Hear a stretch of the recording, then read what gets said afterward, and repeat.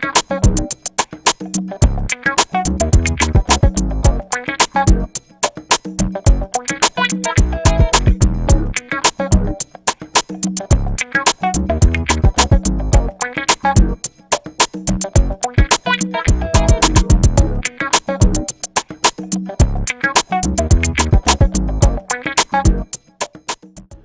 Señoras y señores, damas y caballeros, niños y niñas y demás seres vivos que habitan este planeta llamado Tierra, bienvenidos a este review de este maravilloso equipo, la Studio 1810C. Manos a la obra, vamos a abrirla y bueno, como tú ya lo sabes, la sensación de abrir un equipo nuevo siempre es altamente satisfactorio. Lo primero que nos encontramos aquí es la interfaz y bueno, tenemos aquí nuestro cable de corriente que va conectado hacia nuestro adaptador de corriente que lo tenemos de este lado dentro de esta cajita. Un adaptador que sinceramente yo pensé que posiblemente lo podía haber eh, fabricado Presonus, pero no, es un eh, fabricante externo. Por acá tenemos un cable USB tipo C, el cual abriremos en cámara rápida. Aquí están ambas puntas eh, tipo C, una y dos. Por este lado tenemos otro cable USB con punta normal y USB tipo C. Un juego de gomas para ponerle por debajo a la interfaz y que no se desplace. Y ahora sí viene lo más chido que es nuestra interfaz Presonus. Bueno, aquí tenemos esta papelería.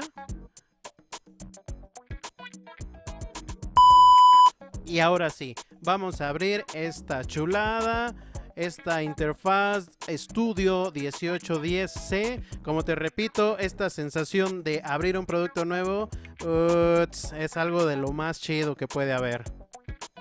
Mira nomás, qué chulada.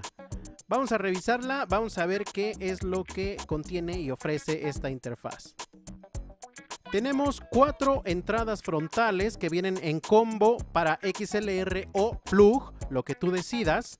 1, 2, 3, 4 y aquí 1, 2, 3, 4 volúmenes de dichas entradas, además de dos volúmenes independientes para dos salidas de audífonos. Además, nuestro control general de master.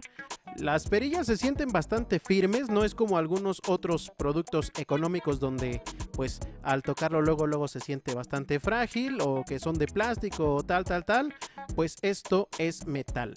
También tenemos eh, el botón de Phantom Power por si usas eh, micrófonos de condensador. Aquí tenemos el selector entre línea o micrófono. Selector A y B que supongo que es para mezclas de monitores. Y un botón de mute. Vamos a ver ahora por la parte de atrás.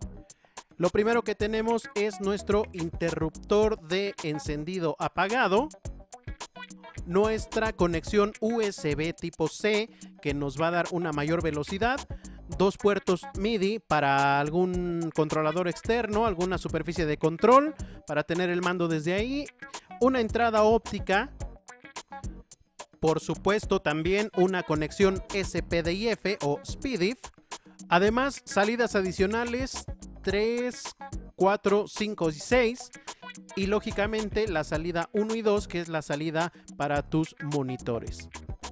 Además, las entradas adicionales que junto con las frontales nos dan un total de 8 canales simultáneos.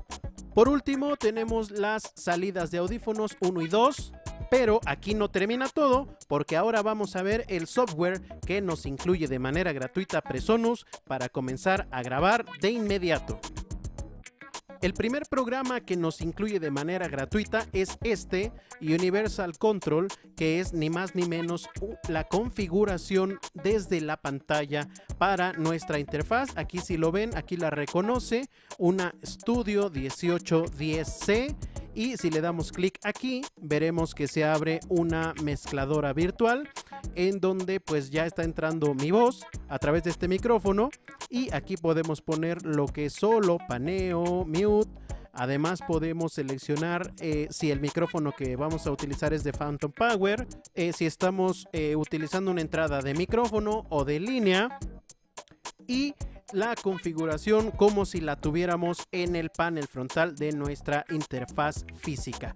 Vamos a ver ahora el otro software que es el software de Gala que incluye la Studio 1810C. Me refiero al Studio One en la versión Artist. Yo no lo he estudiado, pero posiblemente será un buen tema para un nuevo review. Déjame aquí en los comentarios si quieres que me reviente un tutorial o un review chido sobre el Studio One. Me dará gusto leer tus comentarios. Pero de primera instancia tengo entendido que aquí va tu perfil con tu foto chida y todo. Aquí podemos eh, ver las novedades de Presonus para descargar entre software y demás cosas. Además del social media de Presonus. Por otro lado, acá en esta parte nos podemos loguear con nuestra cuenta de Presonus para pues descargar actualizaciones y demás cosas. Acá podemos seleccionar el idioma, que esto eh, para los que usamos Pro Tools eh, era un sueño muy lejano hasta hace muy poco tiempo. Así que un 10 a la gente de Presonus por acordarse de los latinos que no hablamos del todo bien el inglés. Y bueno, tenemos una serie de plantillas para crear nuestra canción. Y también tenemos plantillas de entradas y salidas para reconocer la interfaz con la que estás trabajando. Vamos a crear una canción nueva.